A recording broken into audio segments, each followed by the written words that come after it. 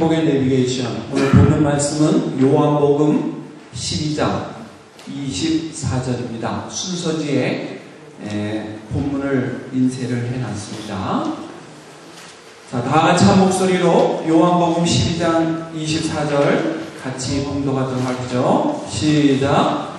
내가 진실로 진실로 너에게 이르노니 하나의 밀이 땅에 떨어져 죽지 아니하면 하늘 그대로 있고 죽으면 많은 열매를 맺느니라. 네. 오늘은 잘 알고 있는 이 본문 말씀을 중심으로 해서 행복의 내비게이션. 우리가 금년 한 해 동안 행복을 어떻게 찾아갈 것인가를 함께 묵상하기를 원합니다. 행복이라는 것은 그냥 주어지는 것이 아니라 내가 만들어야 주어지는 것이 행복이다. 이렇게 많은 사람들이 말씀합니다. 오늘 본문으로 읽은 내용을 보면은 한 알의 밀이 땅에 떨어져서 죽지 않으면 열매를 맺을 수 없다. 이렇게 기록을 하고 있습니다.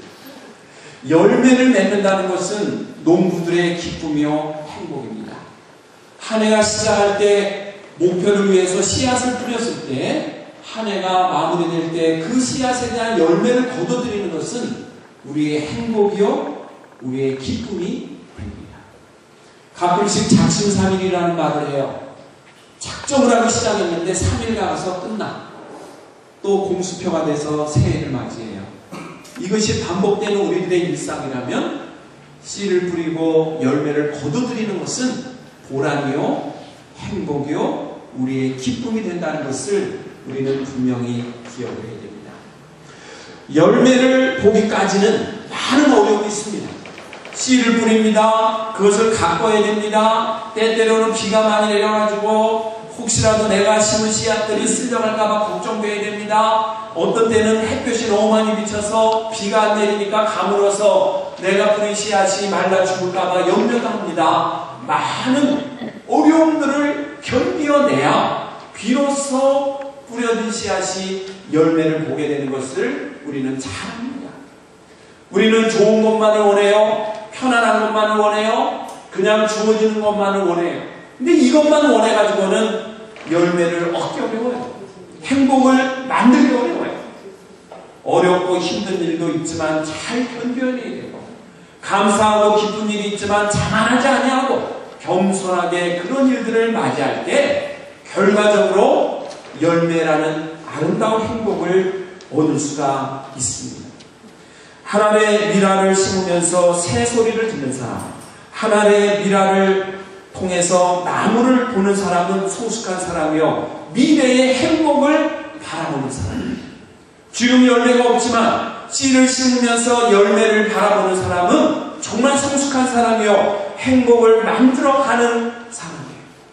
열매만 가졌다고 행복한 것이 아닌 그 과정이 행복해야 돼요. 과정이 아름다워야 돼요. 씨를 가꾸는 기쁨이 있어야 돼요. 물을 주는 기쁨이 있어야 돼요. 새 소리를 들으며 내 마음에 감사가 있어야 돼요. 이런 이들에게 열매는 행복으로 다가오는 것이지 씨를 뿌려놓고 물을 줄 때 짜증을 내고 폭풍우가 일면은 험한 분노를 하고 남의 탓을 하고 늘 마음에 감사가 없다면 그 과정에 행복하지 못하기 때문에 열매를 봐도 행복을 느낄 수가 없어요. 중요한 거는 과정도 행복해야 돼요. 그래야 열매를 볼 때 우리 안에 진정한 행복이 찾아올 줄로 믿습니다. 새해에는 우리 실버가족 모든 어르신들에게 무엇인가를 심기를 원하고 그 심은 것을 어떤 어려움이 있어도 잘 가꾸고 읽어서 정말 행복한 과정을 통해서 행복의 열매들이 얻어지는 축복의 하나가 되기를 주님의 이름으로 간절히 축원합니다. 우리는 가끔 연어를 딱 볼 때 연어의 배 안에 3천 개의 알을 갖고 있다고 해요. 그 3천 개의 알을 부화를 시킬 때 얼마나 많은 새끼들이 부화가 돼가지고 바다를 헤엄치고 다니니까 생각해 볼 수 있죠? 부모는 한 번 아들 가지면 3천 개에서 6천 개의 알을 갖는데요. 그러니 이 부모가 얼마나 많이 번식할 수 있는가. 알을 볼 때는 별로 희망이 없지만 그 알에서 깨어나는 열매를 볼 때 얼마나 많은 행복이 찾아오는가를 볼 수가 있어요. 우리는 가끔 수박을 먹기 위해서 수박을 잘라요. 그때 거기에 박혀 있는 까만 씨들을 봐요. 그 씨가 있어야 열매를 바라보는 거 아닙니까? 요즘은 계량 수박이나 씨가 없는 것도 있지만 그 숨겨져 있는 씨가 희망을 우리에게 보여준다는 것을 볼 수가 있습니다. 오늘 우리는 이 본문에서 한두 가지 중요한 사실을 발견해야 돼요. 하늘의 미리 땅에 떨어져 죽지 아니하면 하늘 그대로 있고 죽으면 많은 열매를 맺는다. 우리가 이 말씀을 통해서 오늘 첫 번째로 살펴보기를 원합니다. 첫 번째 행복의 열매를 얻으려면 떨어져야 한다는 것입니다. 하늘의 미란이 떨어져야 돼. 떨어지지 않으면은 그 다음이 진행이 안 돼. 여기 떨어져야 한다고 하는 것은 무엇을 의미할까요? 우리의 삶에 적용을 한다면 낮은 자, 낮은 곳으로 향하는 겸손한 자가 되어야 된다는 것이죠. 예수님께서 이 땅에 오신 것이 무엇일까요? 높고 높은 하늘 보좌 위에 계실 분이 이 천하비 천한 땅에 내려오시는 거 떨어지신 거 아니에요? 낮고 천한 모습으로 떨어지신 거예요. 예수님이 이 낮고 천한 모습으로 오셔서 겸손한 자로서 일생을 보내지 않으셨다면 우리에게 구원의 축복의 소식이 올 수가 없어요.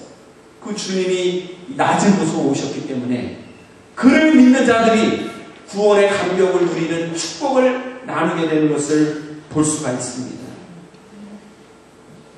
바다는 가장 낮은 곳에 있어요. 가장 아래 있어요, 바다는. 그러나 이 바다는 개천에서 흘러내려오는 물, 강에서 흘러내려오는 물을 전부 다 품어요. 전부 다 품어요. 가장 낮은 곳에 있지만 가장 넓은 모습으로 모든 것을 품고 있는 것이 바다예요. 높이 올라갈수록 품을 수가 없어요. 저 산꼭대기에서 내려오는 물줄기는 다른 물을 품을 수가 없어요.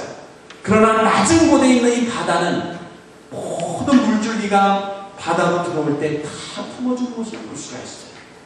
겸손한 모습은 무엇입니까? 모든 것을 품어주는 거예요.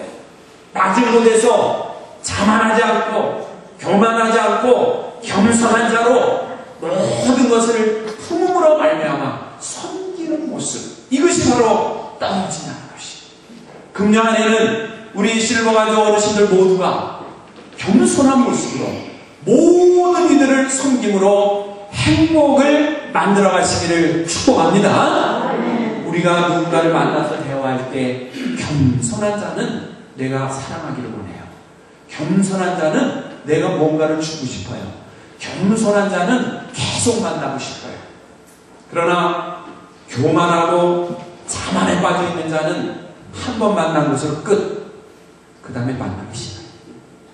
또 연락이 와도 이 핑계 저 핑계 대고 만나기 싫어요. 왜 그렇죠? 교만하고 자만한 자는 남을 품을 수가 없어요. 남을 섬길 수가 없어요. 자기가 대접을 받아야 되고 자기가 높은 자리에서 행세를 해야만 존재하는 자예요. 떨어져야 돼요. 금년 한 해는 떨어지는 은혜가 있기를 축원합니다. 낮은 곳으로, 낮은 곳으로. 그러나 더 넓은 마음으로 세상을 품어주는 것. 이것이 바로 뭘까요? 행복의 내비게이션의 첫 번째 단계라는 것을 볼 수가 있습니다. 두 번째는 오늘 본문에서 자기를 감춰야 한다는 것을 발견해요. 하늘에 미락이 그냥 떨어져서 나무 돌아다니면 날아가는 새가 쪼아먹을 수도 있어요. 바람이 불면 날아가서 어디론가 없어질 수도 있죠. 그 미랄은 땅에 파묻혀서 감추어져야 거기서 새로운 생명력을 가지고 움트는 새싹을 만들어내는 있는